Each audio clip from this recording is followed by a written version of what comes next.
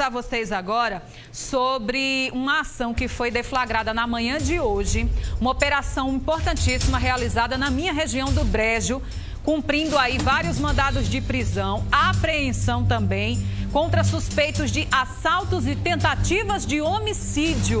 Atenção, minha região do Brejo, Solânia, Serrarias, Bananeiras. Poliana Sorrentino vai chegar agora com os destaques dessa informação no Brejo. Vai, Poli! A Operação Mirra foi realizada nas primeiras horas desta quarta-feira no Brejo Paraibano, nas cidades de Bananeiras, Solânia, Serraria, Arara e Dona Inês. Foram cumpridos vários mandados de prisão e também de busca e apreensão. Os mandados de prisão foram relacionados a oito homens que foram presos e os de busca e apreensão a dois adolescentes, ambos com 15 anos de idade.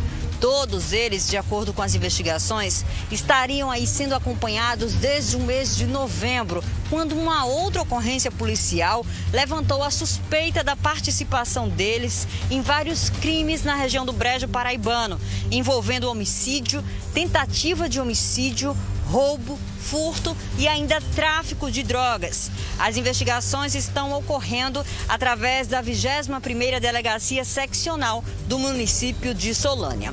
Poliana Sorrentino para o programa O Povo na TV. Obrigada, viu, Poli? Atualizando pra gente essa informação dessa operação no Brejo.